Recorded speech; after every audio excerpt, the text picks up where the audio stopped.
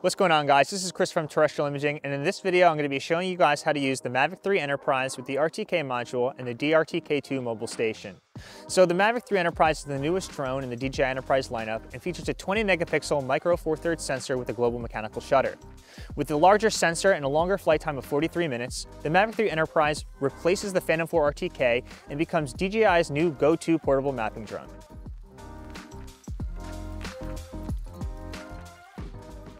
Before we get into setting up the RTK, first let's go over what RTK is and whether or not you actually need it. RTK, or real-time kinematics, is the process of actually correcting your GPS data in real time. When flying with just the drone's GPS, there is a margin of error, but when using RTK, you utilize a second GPS system to correct those errors in real time. If you do not need a high level of accuracy when flying, then you may not need an RTK module or RTK ground station to correct those errors.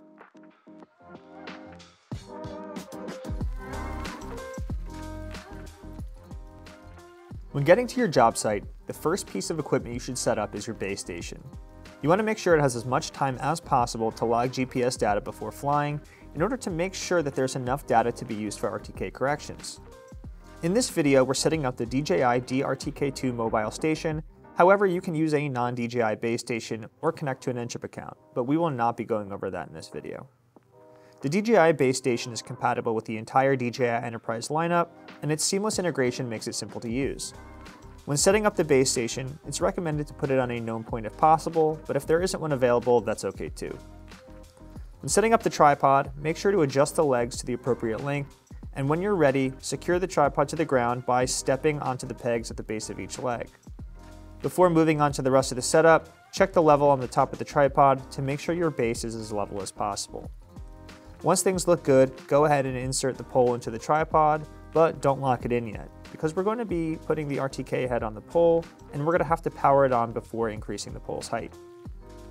If you already own DJI equipment, then perhaps you already own some WB37s. You'll be happy to know that the same WB37s that power some of your controllers or provide them with extra battery are also compatible with the RTK base station. When connecting to the pole, just double check the level on the tripod again, and also reference the level on the RTK head to make sure everything is good. To power on the RTK head, you will hold down the center button for a couple of seconds until the RTK head boots up. Make sure the RTK module is in mode 5 or it won't connect to the Mavic 3 Enterprise.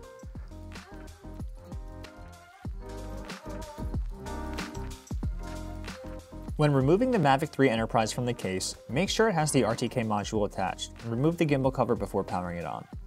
When I set my drones up on the launch pad, I always make sure to flare out all of the props to prevent any excess shaking when the motor's engage. Once ready, power on the drone by performing a short press followed by a long press on the battery power button. Next, we have to make sure we have RTK enabled. Press the three dots on the top right of the screen and make sure RTK positioning is toggled on. Scroll down and confirm you are connected to the DJI DRTK2, and if you aren't, click on it and connect. Next, you would create your mapping mission and set the area of interest on the screen. Once complete, make sure to select DJI Mavic 3E from the list and select the wide camera option. From here, set the flight parameters as necessary. Once complete, save the mission and press the play button to send the mission to the drone. Check the pre-flight checklist and make sure you see RTK connected at the top of the screen. And once everything is checked over, upload the mission to the drone and hit start. The Mavic 3 Enterprise will autonomously take off and complete the mission. From here, you will just monitor the mission and make sure you see the RTK text at the top of the screen during the entire flight. If connection drops, you may have some data that hasn't been corrected. All right, so now that we've completed our mission, we're gonna go back to the office and I'm gonna show you guys how to use DJI Terra to process the images that we just captured.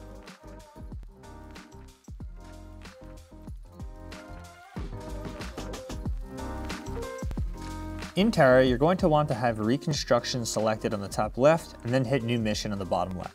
From here, select Visible Light. Next, name your reconstruction, and then we're going to click the folder icon and select the folder that holds all of the images from our drone.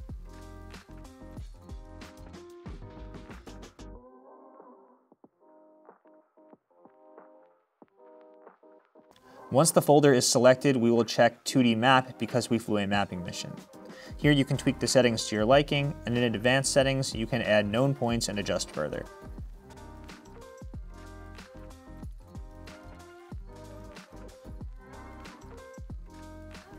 Once ready, click Start Reconstruction and wait for it to finish.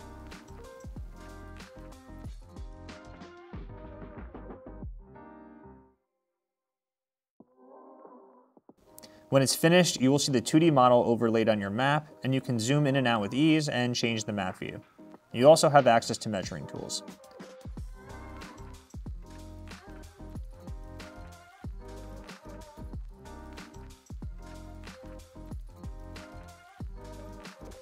So that's it for this video. Feel free to like, comment, and subscribe, and I'll catch you guys next time.